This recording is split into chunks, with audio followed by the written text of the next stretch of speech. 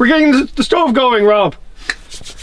Uh, yeah, I just want to go over a bit of the uh, uh, stove. Uh, uh, how to light it. We're lucky here. We got some dry kindling, which is balsam. Really good kindling. Cedar would be fantastic, but obviously Tim cannot get cedar because he doesn't know what he's. But we also found some oak. Now, the oak, this is red oak, and it's dry. And how I know it's oak, it's reddish color, but when you smell it, it smells like a, a, a whiskey barrel and actually that, that you have American oak in some of the whiskey barrels and that gives its, its flavor, right? So, oh, we haven't had whiskey yet, Tim.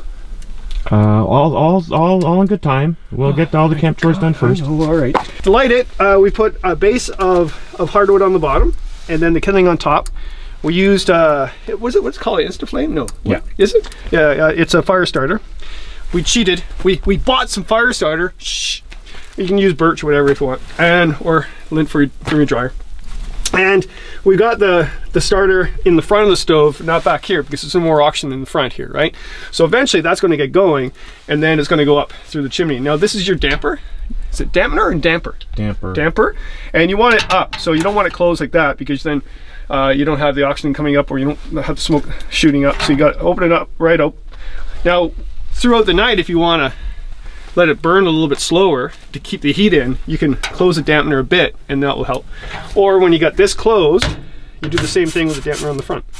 So if you want it to uh, do an all-nighter sort of thing, that got some good oak in there, just close it a bit and a little bit of oxygen goes in there, but not, not that much, and just burns a lot longer. This is a must. This is where you put all your, your cutlery and things like that, because we're gonna have a stew tonight. Woohoo! Uh, yeah, we cook on top of here.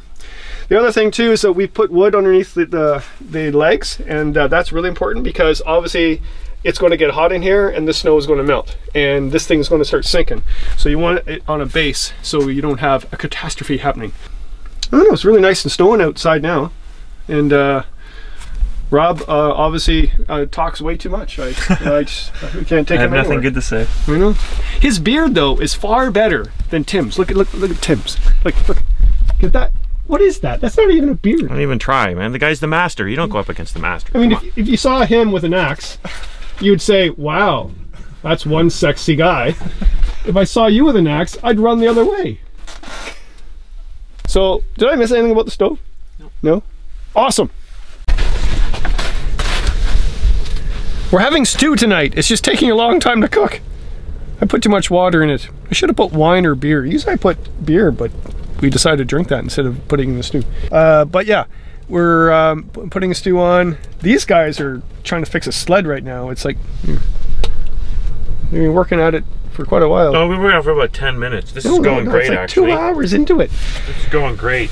But uh, I'm using the Woody uh, Dutch oven. It's an aluminum Dutch oven and a little bit light, lighter weight than the um, cast iron one, and uh, works really great.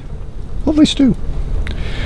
We had some leftover vegetables for lunch, some tomato, some other green things. I'm not sure, and they just threw them in there. I think they're ruining my stew. Don't trust these people with beards.